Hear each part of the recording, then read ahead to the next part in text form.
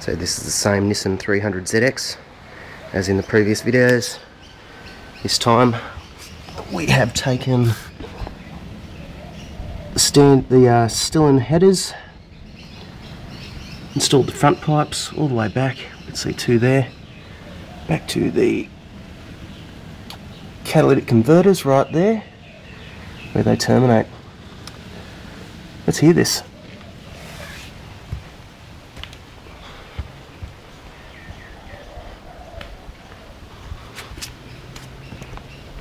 Wow.